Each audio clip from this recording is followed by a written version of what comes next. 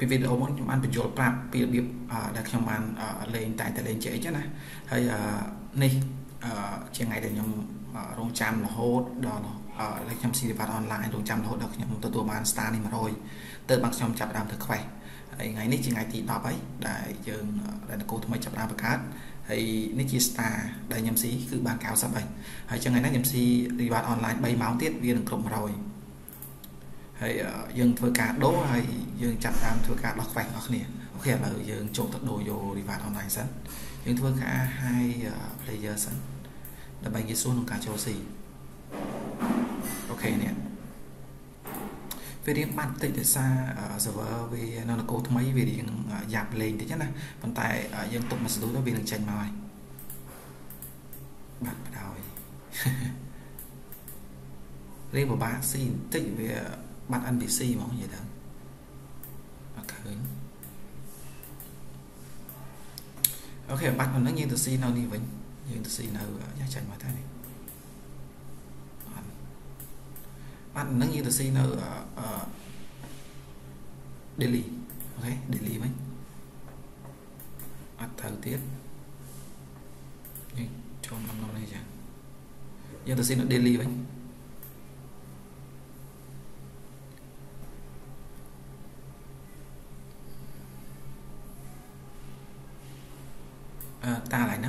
យើងទុកមួយសន្ទុះសិនខ្ញុំតែលោកវាចាញ់ណា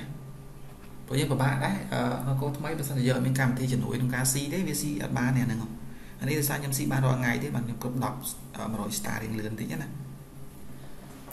អត់ចាញ់ដែរអ្នកអស់គ្នាមើលឃើញទេអូនេះចាញ់នេះនេះតាហ្នឹង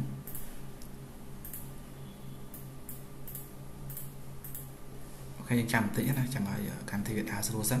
ចាំយើងចុចវាអឺ យើងចុចវាញាត់ពេកវានេះស៊ីបាត់អនឡាញឃើញទេអញ្ចឹងយើងស៊ីមកនេះម្ដង2 2 2 2 2អូខេគ្រប់ស៊ីហើយចែករួចទៀតនេះកុំរយឃើញទេអញ្ចឹងយើងយកអា star នេះ100ដើម្បីយកដូរយក rate rate នេះនេះ rate បែបនេះឲ្យបាន10000ហើយបន្ទាប់ពីបាន10000យើងចាប់ដើមធ្វើ quest អញ្ចឹងនៅពេលដែលបាន10000យើងធ្វើ quest ហើយវា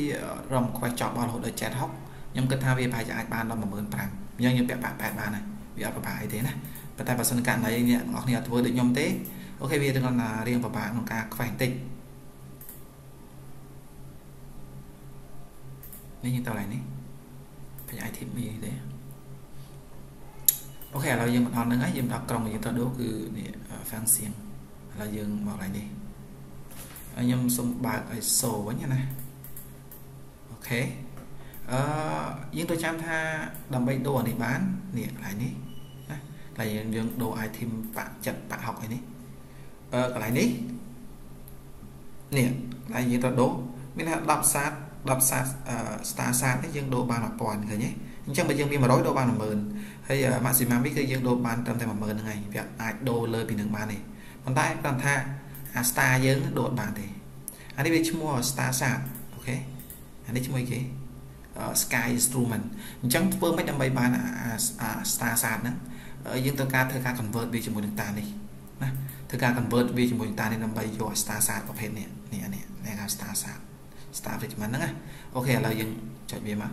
នេះយើងយកក្រោមនេះមកណានេះដូរទាំងអស់អូខេ100ខ្ញុំមាន100ខ្ញុំដូរទាំង100ហ្មង